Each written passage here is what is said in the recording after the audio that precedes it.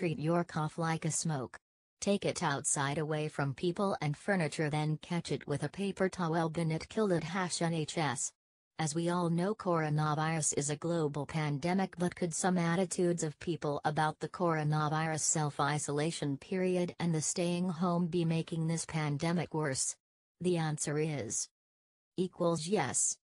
If you do not stay in your home except for key workers on duty and those who need the essential items or the vulnerable who need school, you may be fined and if necessary you may be arrested says Chief Constable of Manchester Police we must not leave except for those who really need to for certain exceptions. And the 12-week estimated ending period will go up. Don't be selfish. Please stay home. Protect yourself. Protect the NHS. Save lives. For more information visit gov.uk or nhs.uk or who.int. Stay home protect the NHS save lives don't be selfish. UK coronavirus lockdown, will you get fined or arrested for breaking the rules? What are the UK lockdown rules?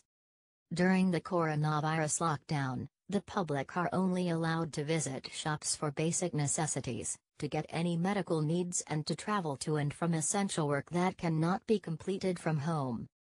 You are also only allowed to leave the house for one form of exercise per day alone or with people from your house. Can I get arrested for breaking lockdown rules? Police have been given the power to disperse crowds of more than two people and will be monitoring any public gatherings. Coronavirus public can only go out for essential travel reasons. Picture, Ba. Can I be fined for breaking lockdown rules? Yes, Boris Johnson said, if you don't follow the rules, the police will have the powers to enforce them, including through fines and dispersing gatherings. Fines for breaching the new coronavirus lockdown measures will be set at £30 in England but could rise significantly, Downing Street said. Thank you to all heroes who have stayed in, including NHS staff, carers, families, kids, parents, key workers, teaching staff. Catch it, bin it, save lives.